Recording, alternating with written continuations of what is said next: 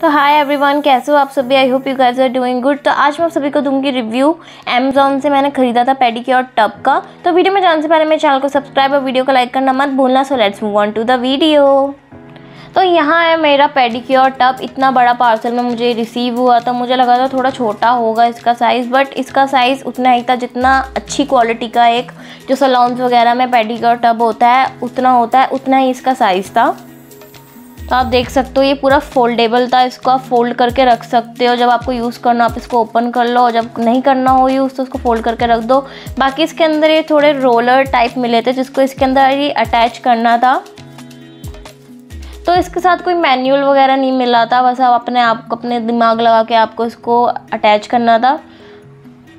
तो आप देख सकते हो इसकी क्वालिटी थी, सही थी ओके ओके क्वालिटी थी, बहुत गंदी भी नहीं थी, बहुत ज़्यादा अच्छी भी नहीं थी, मुझे इसकी क्वालिटी प्लास्टिक की वो ओके ओके लगी थी। बाकी ये इसके साथ ही, इसके नीचे जो है स्टैंड भी लगे हुए थे, ताकि इस पर पूरा सपोर्ट रहे, अगर कोई इस पर पेडिक्योर कर रहा हो तो ये गिरे ना इधर उधर तो इसलिए इसके दोनों साइड पे ये स्टैंड बने हुए थे। तो इसको आपको ऐसे ओपन करना था, बीच में प्रेशर दोगे तो ये ओपन हो जाएगा। तो इसको ओपन करने में मुझे बहुत ज़्यादा मेहनत लगी थी। बाकी हर चीज़ की देखो क्वालिटी आपको परफेक्ट नहीं मिल सकती। अगर आप प्राइस कम पे कर रहे हो तो आपको क्वालिटी भी उसी हिसाब से मिलेगी। अगर आप अच्छी क्वालिटी का पेडिक्योर टब खरीदते हो तो वो ढाई हज़ार, तीन हज़ार रुपये का मिलता है।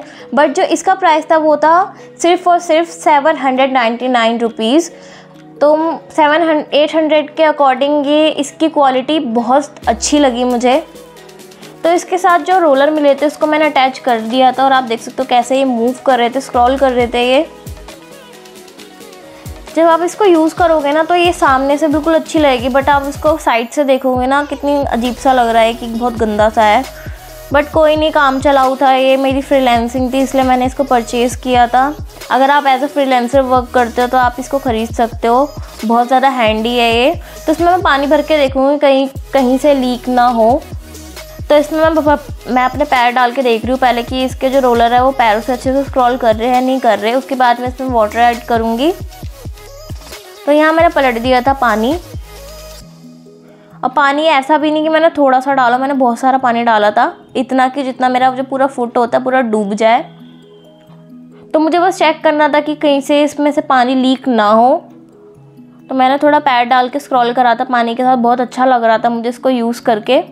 ऐसा नहीं लग रहा था कि बहुत अनप्रोफेशनल था प्रोफेशनल वाली फील आ रही थी मुझे पूरी। बस इसका एक यही डिसएडवांटेज है कि इसमें पानी जो है गर्म नहीं होता, आपको खुद गर्म करके पानी डालना पड़ेगा, बाकी इसमें पानी जो है बिल्कुल लीक नहीं हो रहा हो रहा था। तो आई होप आपको आज की वीडियो पसंद आई और पसंद आई हो तो मेरे चैनल को सब्सक्राइब और वीडियो को लाइक करना मत भूलना। बाकी मैं इस प्रोडक्ट को दूँगी थम्स अप मैं इसका लिंक जो डिस्क्रिप्शन बॉक्स में डाल दूँगी, आप चेकआउट कर लेना। तो मिलते हैं नेक्स्ट वीडियो में, तब तक के लिए बाय एंड टेक केयर